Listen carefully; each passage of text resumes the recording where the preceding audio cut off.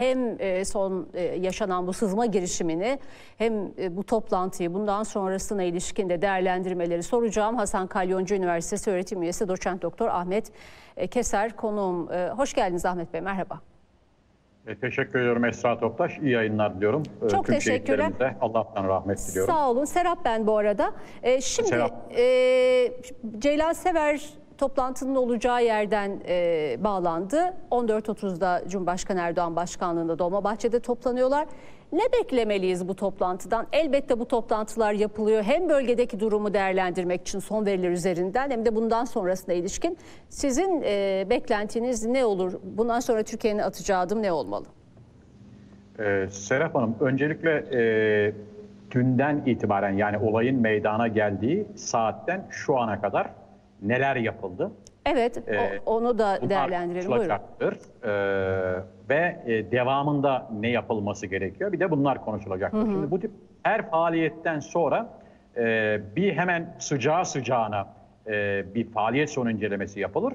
Bir de faaliyetin e, üzerinden belirli bir zaman geçtikten hı hı. sonra bütün tarafların katıldığı detaylı bir faaliyet sonu incelemesi yapılır ve ne oldu, neden oldu, nasıl olmalıydı diye sorgulanarak e, daha sonrası için bir takım dersler çıkarılır.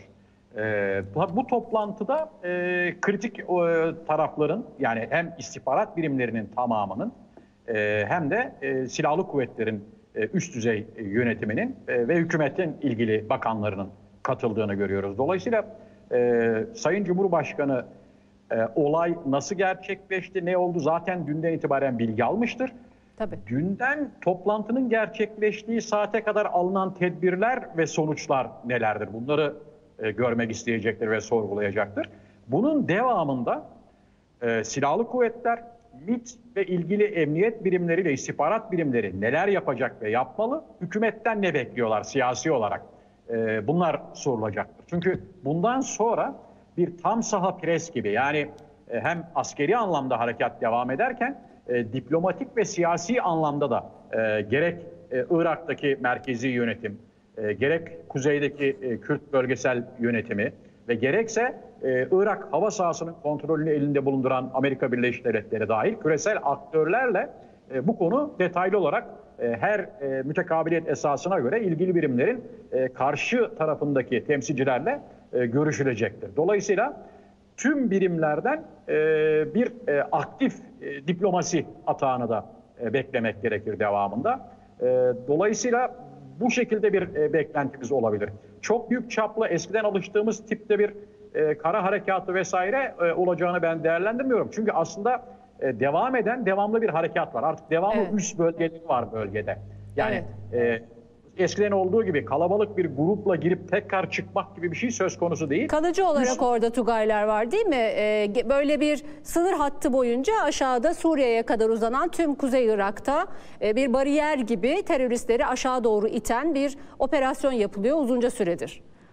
Evet Serap Belet. Şimdi e, özellikle e, en doğuda e, Hakurk'tan başlayarak Hakurk, e, Avaşin Basyan ee, batı tarafında da e, Sinat Haftanin ve Metina bölgesine yerleşilmiş durumda. ZAP'ın üstüne yerleşiliyor. Yani orada e, ZAP bölgesi de kapatıldığı zaman e, aşağı yukarı e, birinci kuşaktaki bütün o kamp bölgelerinin e, üzeri kontrol altına alınmış e, olacak. Dolayısıyla e, pençenin kilit bölümü de e, tamamlanmış olacak. Yani orada e, İran sınırından başlayarak Suriye sınırına kadar olan e, Türkiye'nin hemen birinci kuşak e, sınır hattında güvenli bir bölge. E, dolayısıyla PKK-PYD'nin kamp olarak kullandığı aslında iki sıra e, kamplar silsilesi vardı. E, birinci kuşak kamplar bu işte Hakurk, Avaşin Basyan, Zap, Metina ve Sinat Haftan'ın. Onun bir gerisinde de Gara ve e, Kandil, en geride de Kandil vardı.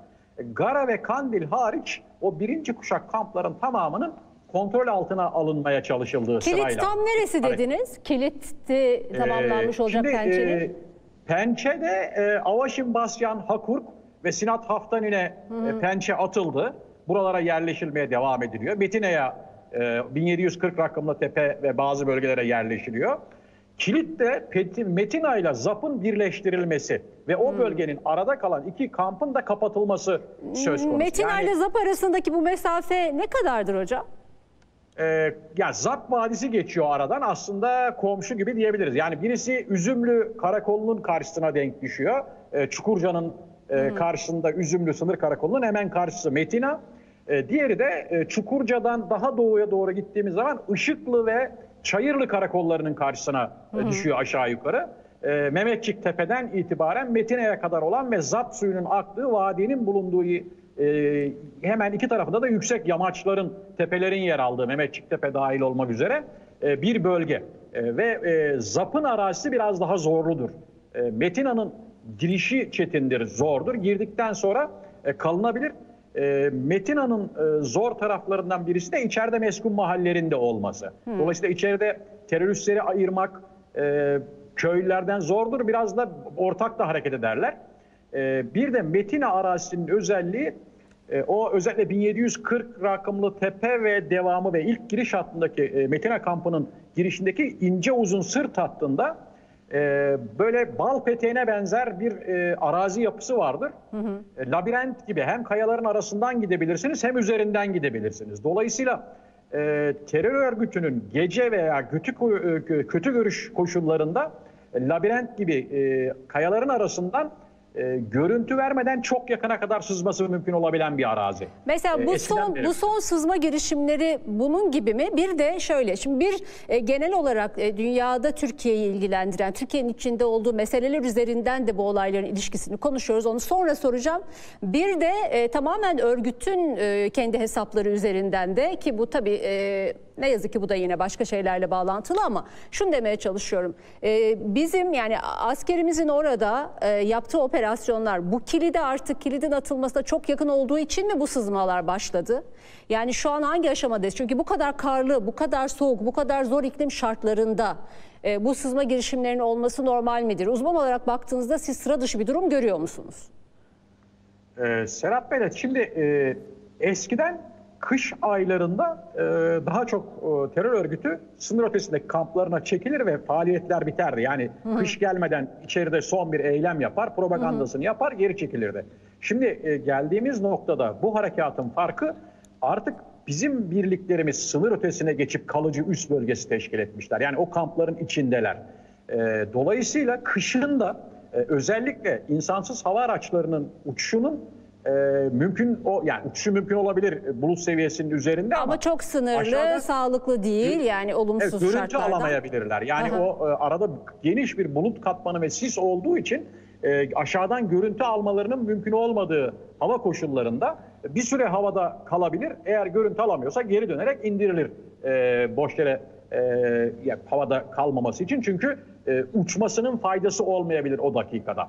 E, Dolayısıyla özellikle son iki e, sızma girişimi ve olayda bunun etkisini görüyoruz. Yani görüş koşulları koşullarının çok kısıtlı olduğu, geniş bir e, sis tabakasının ve bulut tabakasının katman olarak yer, yerin üzerine oturmuş olduğu bir yapıda insansız hava araçlarının etkisinin azaldığı bir anda ve özellikle oradaki bu kokurdan tipi arazinin yapısının da e, sağladığı imkanlardan istifade etmek suretiyle birliklerin yakınına kadar sızmak mümkün olabiliyor. E, Çünkü görüş mesafesinin çok düştüğünü düşünün. Öyle ki e, bazı günler e, bu tip e, tipi de kar fırtınası olan zamanda mesela ilerlerken öndekinin ancak böyle parkesinin arkasından falan tutunarak gidebilirsiniz. Yani e, kaybettiğinizde ko- kolu kaybedersiniz ilerlerken falan. O derece görüş mesafesi e, düşebilir. İşte bu tip görüş mesafesinin düştüğü zamanlarda özellikle yakındaki meskun mahallelerden de istifade etmek suretiyle kısa süre içerisinde bölgeye kadar o kayaların arasındaki labirentvari e, tünel gibi yerlerden yararlanmak suretiyle yakın mesafeye girip özellikle el bombası atarak zayiat verdirmek ve mevzileri ele geçirmek, ilk mevzileri birkaç mevziyi e, şeklinde bir e, sızma. E, bu aşağı yukarı terör örgütünün 30-40 yıldır e, kötü hava koşullarında uygulamış olduğu temel Yani taktiklerden kötü bir tanesi. hava koşullarını kendi lehine e, çevirmeye çalışıyor bu şartlarda ve şu anda orada sınırımızdan terörü uzaklaştırmaya çalış, e, çalışan yani bu amaçla yürütülen operasyonu delerek tekrar daha yakına, daha sınıra doğru ilerlemek ya da orada tümüyle e, teröristlerin e, karşısında bir duvar gibi oluşacak o hattın oluşmasına engel olmak ya da de, orada delikler açmaya çalışmaya e, açmaya çalışıyor. Evet, temel e, e, hedefleri e, o bölgede yani bu pençe kilit harekatında kilidin tamamlanmasını engellemek. Dolayısıyla o ZAP bölgesinin düşmesini engellemek.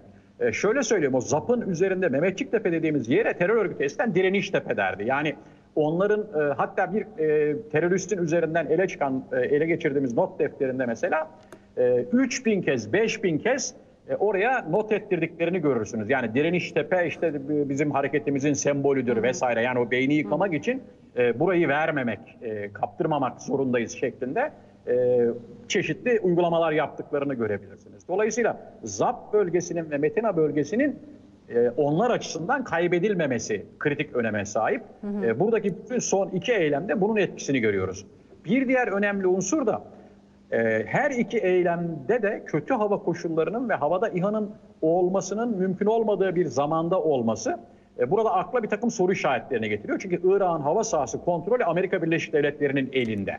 Hmm. Yani o esnada havada İHA olmadığını bilen ve bunu karşı tarafa iletebilecek bir yapının olması gerekiyor. Veya İHA gelse bile yerden görüntü alma şartlarının olmadığı veya çok kısıtlı Yani teröristlere e, evet şu an şartlar uygun. Havada İHA yok bilgisinin gelmiş olması gerekiyor diyorsun. Böyle bir istihbaratın verilmiş olabileceği şüphesini uyandırıyor. Tabii veri olmadan böyle bir şey söyleme şansımız yok ama üst üste bütün olayların benzer koşullarda yaşanması e, bu tip bir şüpheyi de e, ister istemez e, akla getiriyor. Tabii. E, çünkü hava Buyurun tamamlayın affedersiniz. Hava sahası kontrolü sonuç itibariyle bu küresel gücün elinde, İran elinde değil. Ee, hem Irak'ta hem Suriye'de Türkiye açısından temel sorun buradaki ülkelerin tam olarak egemen bir devlet olarak kendi kara sınırlarına ve hava sahalarına e, hakim olamamaları. Yani failed state dediğimiz egemenliği eksik, hatalı devlet olmaları ve kendi toprakları üzerinde güvenliği sağlayamamaları. Dolayısıyla Türkiye'ye e, gelen bütün o terör tehdidinin de bu topraklardan kaynaklanması. Yani Türk temel sorun zaten e, buradan kaynaklanıyor. E, Amerika Birleşik Devletleri çıkmış olsa, Irak ve Türkiye belki hava sahasını kendisi kontrol ediyor olsa, e, dolayısıyla bu e, sorunların daha da azalacağını görebiliriz. İşte bu güvenli koridorun oluşturulmaya çalışılması, e, üst bölgelerinin ileriye yerleştirilmesi, e, bu da aslında e, bunun e, bu harekatın bir aşaması olarak değerlendirebiliriz. E, dolayısıyla terör eylemleri bizim sınırımızın dışına taşınarak güvenlik ileriden itibaren bir yerde hı hı. sağlanmış. Yani uzaktan itibaren sınırların güvenliği sağlanıyor. Ancak bu yerleşme bitene kadar e, maalesef harekatın doğası e, gereği de özellikle bu tip kötü hava koşulları geldiğinde bu muhtemelen e, Şubat sonu Mart ortalarına kadar da devam edebilir zaman zaman. E, çünkü e, örneğin Çelik Harekatı'nda yani Şubat sonu Mart başında girdikten sonra da e, bir, bir buçuk ay içerisinde bu Metina bölgesinde e, en az e, 4-5 farklı çeşit iklim koşulunu görebilirsiniz. Hmm. E, ve oradaki e, birliklerin üzerinde bir ayda belki dört takım kıyafet eskir. E, hmm. Bir haftada bot eskir kayalarda. E, hmm. Gerçekten e, insanın normal koşullarda görev yaparken bile dayanma sınırını zorlayan e, koşullar söz konusu olur. Hem sadece hem sadece arazi. hava değil yani coğrafi olarak çok dağlık, çok kayalık değil mi? Ee, çok sarp bir arazi. Ee, bir de araya girmişken söyleyeyim tabii Kuzey Irak'ta yapılmaya çalışılan şey Suriye'de de yapılmaya çalışıyor. Orada boylu boyunca bütün sınırımızı koruyan bir hat oluşturulmaya çalışılıyor. Barış Pınarı harekatında da böyle bir hedef vardı ve bütün bu süreçte yaşanılanlar Amerika Birleşik Devletleri ile ya da Rusya ile ya da İran'la. Yani sonuçta e, diplomatik ilişkilerle ve bölgede yaşanan gelişmelerle de birlikte okuyoruz. Hep onların hedefleri ve çıkarlarıyla nerede çelişiyor, nerede çatışıyor ve Türkiye'yi karşı karşıya getiriyor diye.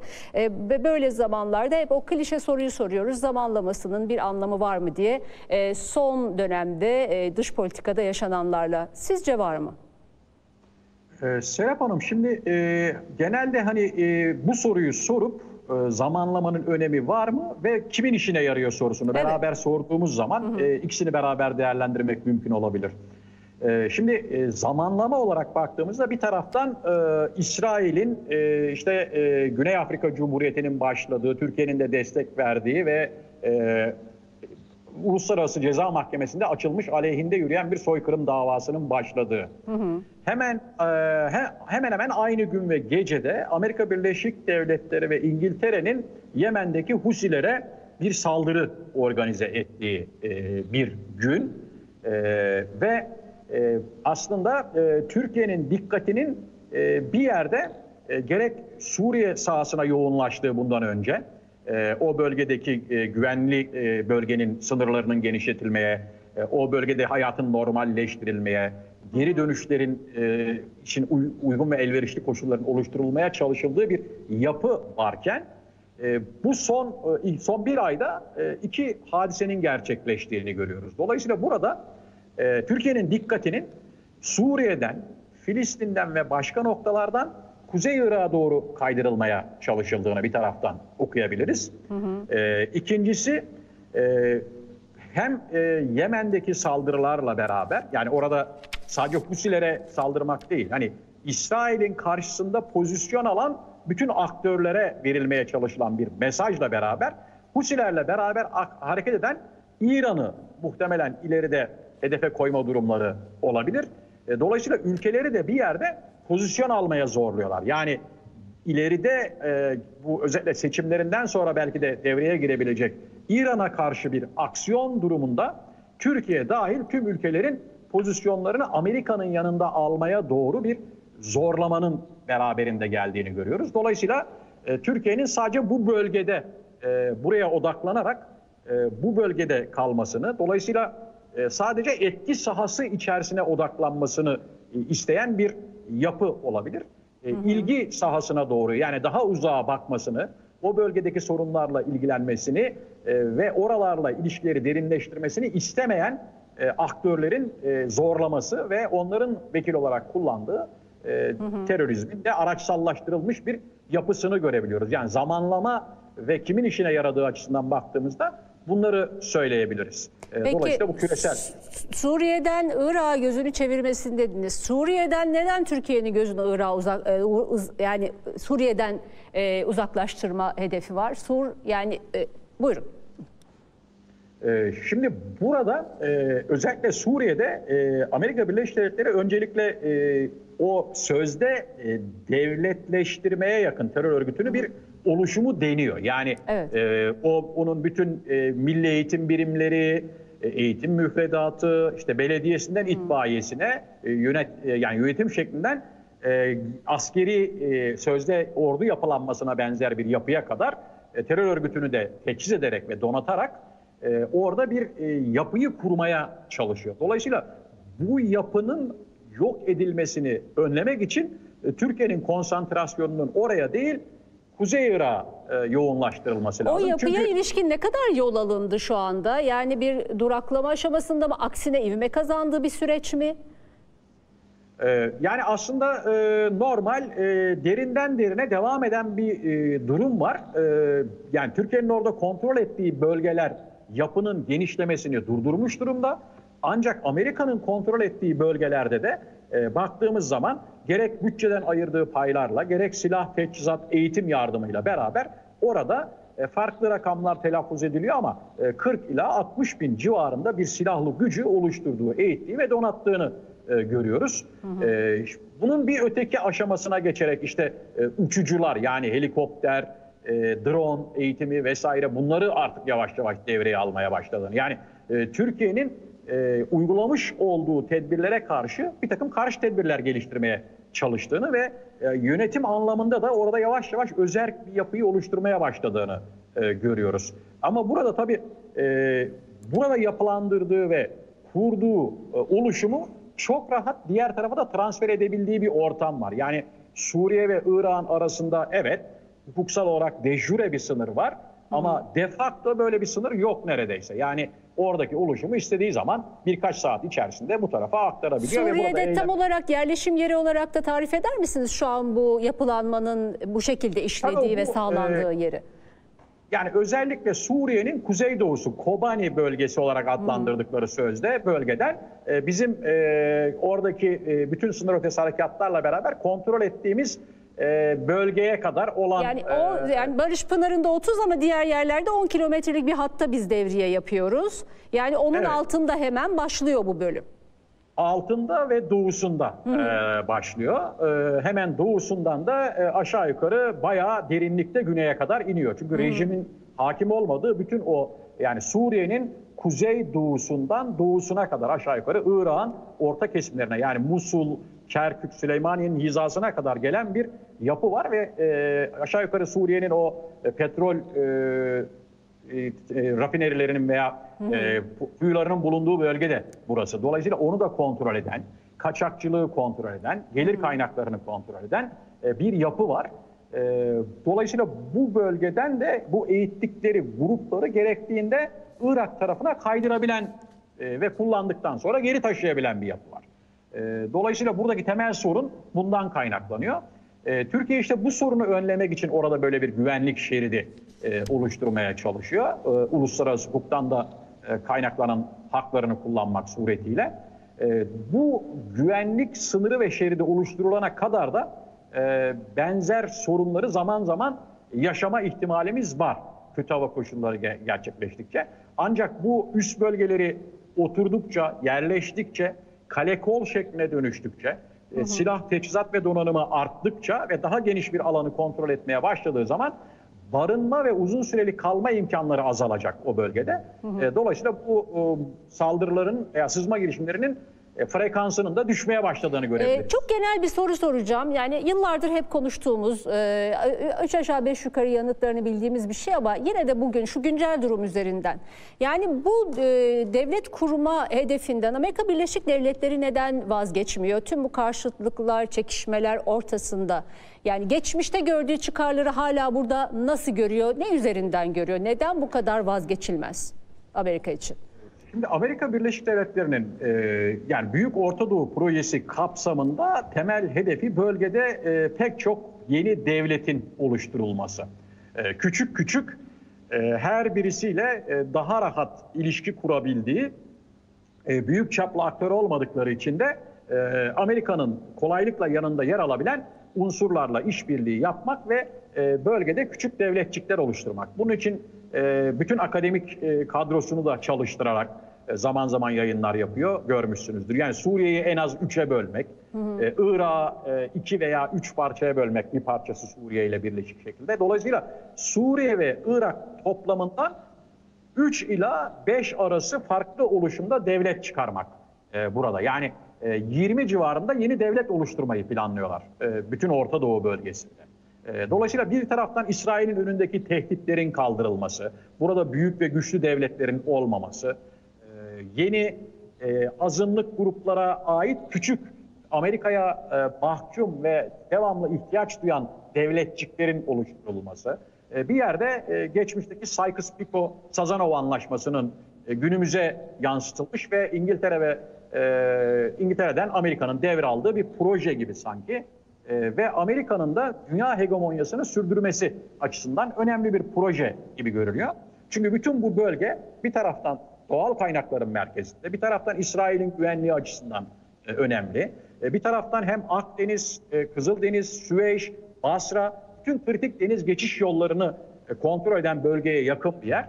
E, Amerika açısından da deniz geçiş yollarının daima kendi elinde ve kontrolünde bulundurması olmazsa olmaz bir Yani uluslararası- hani dünyada eksen değişiyor. Çin'in büyümesi üzerine hem Arktik hem başka işte Hazar vesaire artık çıkarları burada azaldı. Başka yerlere e, gözünü çevirdi değerlendirmesi üzerinden konuşursak hayır hala yine çok kıymetli onun için diyorsunuz.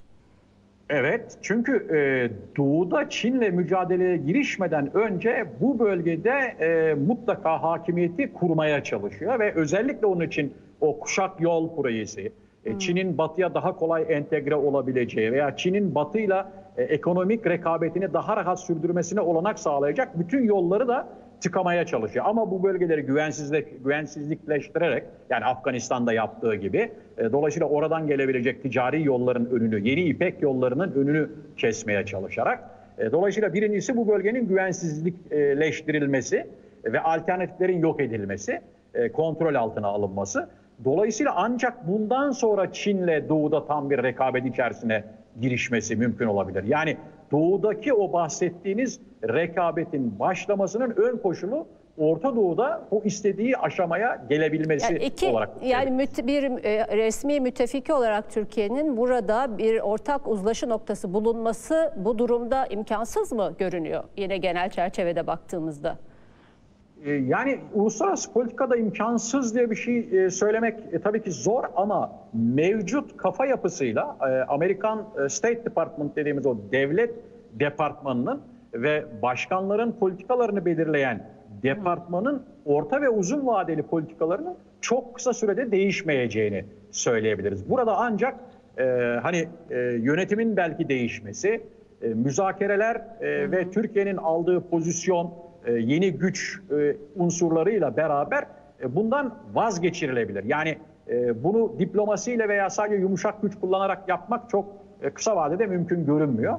E, Dolayısıyla e, en az böyle bir e, 5-10 yıl daha e, bunlarla e, uğraşacak gibi duruyoruz. Çünkü bu verilen destekle işte en son yine sızma girişiminde e, anlıyoruz ki üzerlerindeki termal kameralar kameralardan kamuflajlara e, Amerika Birleşik Devletleri'nin e, YPG'ye verdiği 150 milyon dolarlık destek, teçhizat vesaire değil mi? Bütün bunların nasıl kullanıldığını da e, yaşıyoruz. Ya, e, bir hatam varsa değerlendirmede düzeltin ama bildiğim kadarıyla böyle bir ekipman desteğini de e, tüm bu terör saldırılarında teröristler e, kullandılar ve kullanıyorlar.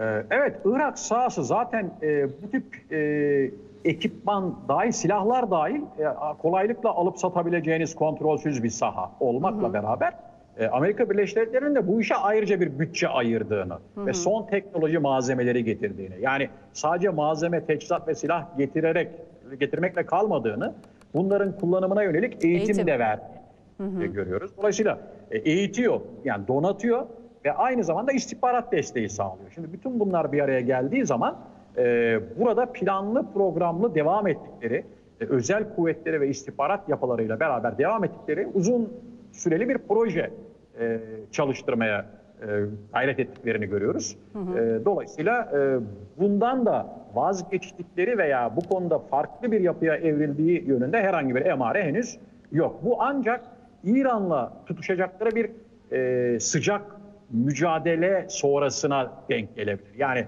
öyle bir durumda Türkiye'ye ihtiyaç duymaları halinde, Halinde. böyle bir yakınlaşma olabilir. Bir fırsat penceresi ancak o zaman O zaman doğar. açılabilir. Siz de aslında biraz seçim sonrasına ilişkin bu yönde bir değerlendirme az önce yaptınız ama buna da vaktimiz kalmadı. İran konusu da çünkü so- çok sıcak. Husiler üzerinden, Gazze konusu üzerinden e, Amerika-İran gerilimi. Yine başka yayınlarda da konuşuruz. Çok teşekkürler katkınız için doçent doktor Ahmet Keser. E, sağ olun katıldığınız. Ben teşekkür ederim Serap Belet. İyi yayınlar diliyorum. Çok teşekkür ediyorum.